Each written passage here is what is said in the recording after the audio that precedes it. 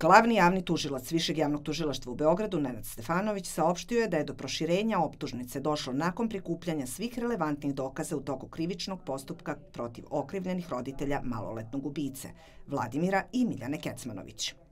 Zbog faze postupka u kojoj je isključena javnost odlukom Višeg suda u Beogradu, detalje proširenja optužnice ne mogu da iznosim, ali ukazujem da je upravo inkriminisano ponašanje roditelja rezultiralo ovim nezapamćenim tragičnim događajem od 3. maja 2023. godine u osnovnoj školi Vladislav Rivnikar. Umeđu vremenu, detalji svedočenja maloletnog ubice KK cureli su u javnost i to u trenutku dok je odgovarao na pitanja pred Višim sudom 8. oktobra. Za to za sada niko od onih koji su bili u sudnici i imali mogućnost komunikacije sa spoljnim svetom nije odgovarao, a roditeljima i advokatima su, podsjetimo, tada bili oduzeti telefoni. Postupak u vezi sa tim iniciralo je prvo i drugo tužilaštvo, ali za sada bez konkretnih rezultata.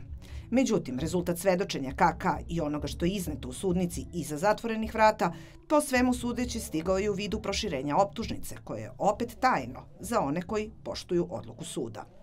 Postoji opravdana sumnja da su oni u periodu od 30. aprila 2022. godine do 3. maja 2023. godine grubim zanemarivanjem svoje dužnosti zapustili svoje maloletno dete, koje je 3. maja 2023. godine upotrebom vatrenog oružja lišilo života radnika obezbeđenja u osnovnoj školi Vladislav Ribnikar i devetoro učenika te škole, kao i jer je teško povredilo nastavnicu istorije i još petoro učenika. I parnični postupak, koji je inače otvoren za javnost, bio je zatvoren tokom izlaganja veštaka koji su procenjivali sposobnost za rasuđivanje i uračunljivost maloletnog ubice u trenutku masovnog ubistva. Zvanično je poznato samo šta su veštaci radili, kao i da su imali uvid u psihijatrijski izveštaj od 3. maja 2023. kada je zločin počinjen i kada je dečak smešten u psihijatrijsku ustanovu. Međutim, i u ovom, kao i u prethodnim slučajevima u kojima je javnost bila isključena, navodni detalji veštačenja su procureli u tabloide.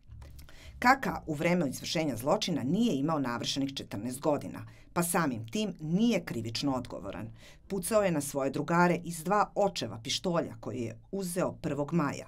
Kobnog dana ih je stavio u svoj ranac, otišao u školu i tokom prvog časa ubio 10 osoba i ranio petoro dece i nastavnicu istorije.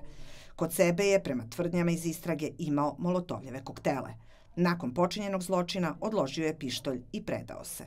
Šta će nakon svega ovoga biti sa njim? Ko bi trebalo da preuzme odgovornost i dalje je nejasno, a sada još manje izvesno nego prvog dana.